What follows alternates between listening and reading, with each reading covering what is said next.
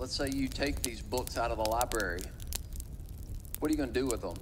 But I would burn them.